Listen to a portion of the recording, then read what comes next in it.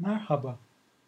Kare boyama, hareket ve etkileşim alıştırmasına hoş geldiniz. Bu alıştırma algoritmaların işleyişlerini daha iyi anlamamıza ve koşullu ifadeleri daha etkin kullanabilmemize yardımcı olmak için tasarlanmıştır. İki boyutlu bir alan üzerine dizilmiş karelerin renk özelliklerinin değiştirilmesiyle ilgilidir. Kullanılan mekanikler blok bulmaca, yılan, tuğla kırıcı gibi oyunların temel çalışma prensiplerini içerir. İyi çalışmalar.